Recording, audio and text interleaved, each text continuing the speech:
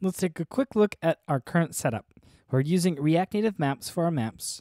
We have a series of images that we will render inside of our scroll view. We're pulling off the width and the height of our dimensions and de determining the size of our card height based upon the height. So uh, our card heights will be a quarter width of the screen. Then additionally, we will have some markers set up. These will have coordinates on the screen, as well as we will be putting our images there, as well as some text. Finally, we have our map view set up with our initial region, and then we are getting a reference to our map. Now we'll start by looping over our markers. So we'll say this.state.markers.map, and we will get our marker and our index and then return a map view dot marker.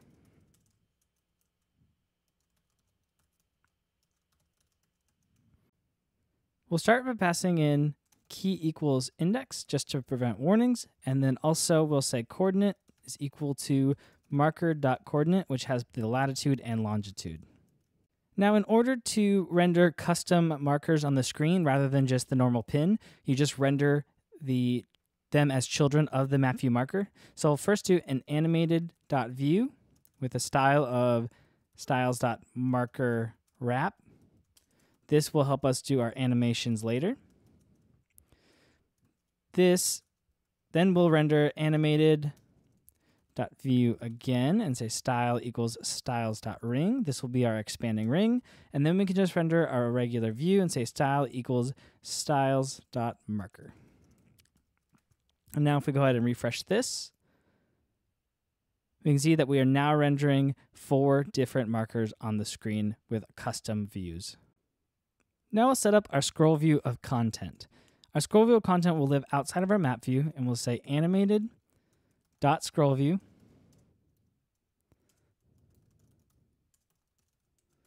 And for our properties, we will say it's horizontal and we will say scroll event throttle is equal to one because we'll use be we'll be using native animations. We will say show horizontal scroll indicator is equal to false. And then we'll say snap to interval is equivalent of our card width. Now this is an iOS only property, so it'll just help the scroll view snap to the indices of the scroll uh, of each card uh, only on iOS, but not on Android. Then we'll add our two styles. So we'll say style is equal to styles.scrollView that we have set up. And then additionally, we'll say content container style, which there's an inner inner view inside of the scroll view that wraps all of the content. And we'll give that styles.end padding. This will just add some padding at the end so that you can actually scroll past the last item. Otherwise, you would never be able to select the last item.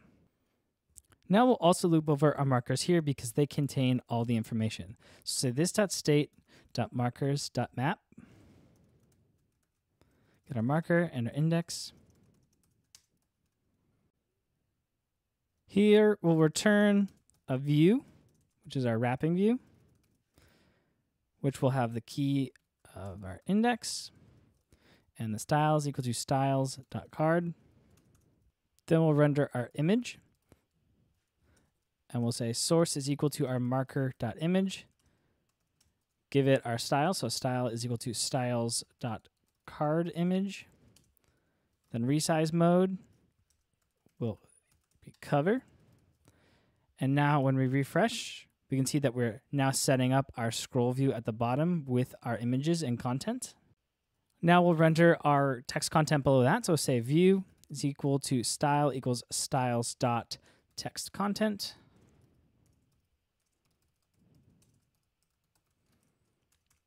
We'll then render our text and we'll just say number of lines is equal to one because of the potential different screen sizes and stuff. We'll just limit everything to one line and let it ellipsize. And then we'll give our style of styles.card title. And render our marker.title. And close that. And then we'll do the same thing for our description, where we'll limit it to one line. Say style is equal to styles dot description. dot, sorry, card description. We're under our marker dot description. And now when we refresh, we can see we have our card title description and our text ellipsizing below our images that are covering the specified space that we've given it. Now we need to go set up our animation. We'll go create a component will mount lifecycle method and say this dot animation is equal to a new animated value that we'll just set to zero. Now on our animated scroll view, we'll need to set up on scroll and use our animated dot event, which will automatically map uh, the event to us. So we'll say uh, the array. The first argument is going to be the event. We'll then grab the native event, get the content offset of our native event, and get the x, and then pass that to this animation. So every time that we scroll from left to right, it'll automatically update our this animation. And then we will pass in use native driver as true. And that way, all of our animations will take place on the native side. To make our animations work, we're going to need to set up some interpolations based upon the scroll from left to right and the size of our card. So we're going to say const interpolations is equal to this dot state dot markers, and we're just going to map over our markers, and we'll also need the index. We'll need to construct our input range, and our input range will be from a negative value to the current value of when we want the thing to actually be active, and then also when we want it to be inactive. So we'll say const input range is equal to an array, and we'll say index minus 1 times the card width. Then when we want our thing to be active is when the scroll view is at the index times the card width. So that will be in just index times card width. And then when we want our marker to be inactive, we will do index plus 1 times the card width. Now that we have our input range set up based upon each of our cards, we can say const scale is equal to this dot animation dot interpolate, pass in our input range, and then specify our output range. So for scale, we'll say when it's inactive, it'll just be 1. When it's active, it'll be 2.5.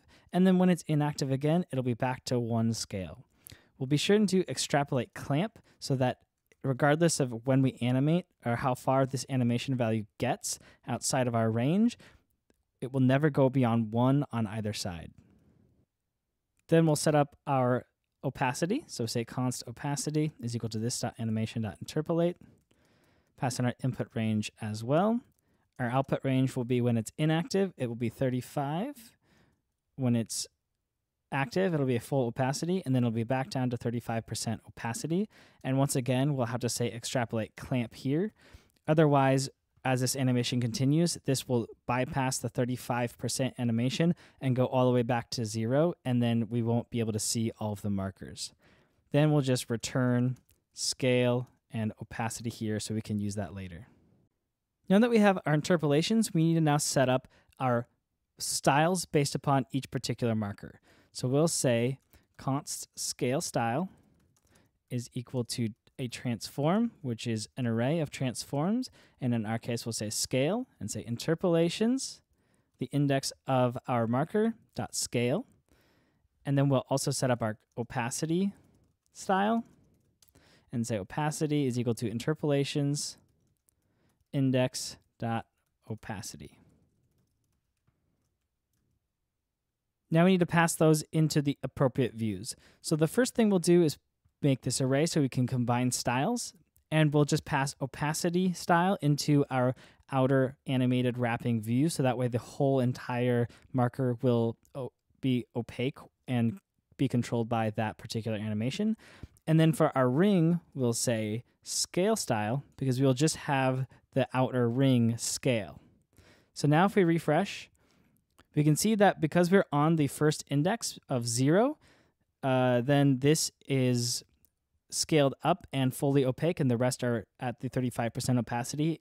And as we scroll, we can see that as we transition in between each of the different indexes, that the animated views and interpolation will respond accordingly. Now it appears that we also still have our indicator, so let's go take a look at that. And we can see that it should be shows horizontal scroll indicator rather than show horizontal scroll indicator. So now in refresh, we can see that there's no more horizontal indicator when we, whenever we scroll.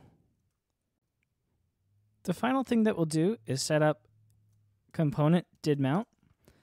We'll say this dot index is equal to zero so we can track our active index. And then we'll just paste this code and we'll take a look at it.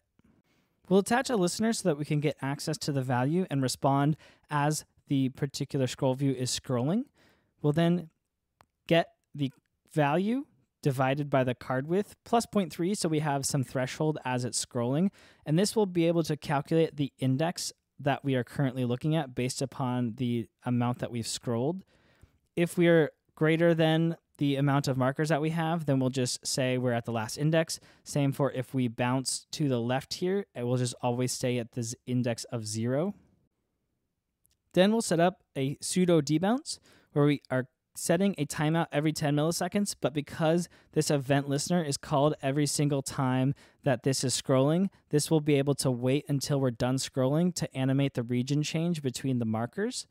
Then we'll just say if the previous index does not equal the index that we're currently at, then we will animate the region on the ref that we've accessed. This is the ref to the map view and animate to the region of the coordinate. So the middle of the map will be the coordinate of the marker, and then we'll just access the same latitude delta and longitude delta and animate over 350 milliseconds.